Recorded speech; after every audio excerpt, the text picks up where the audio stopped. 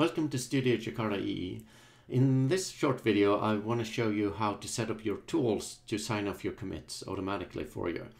So I'll start with the, probably the most popular IDE out there.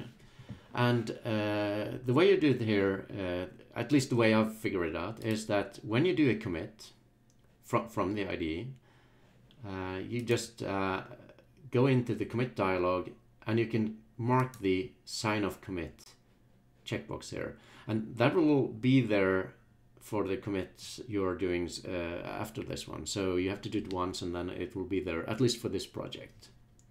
So that, that was in uh, IntelliJ. Let's look at uh, the other IDEs and uh, look at the Eclipse IDE.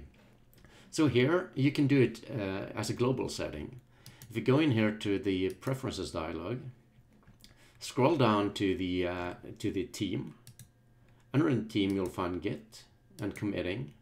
And here you can uh, mark the insert sign off by uh, check mark and uh, all commits will be signed off with your uh, email address.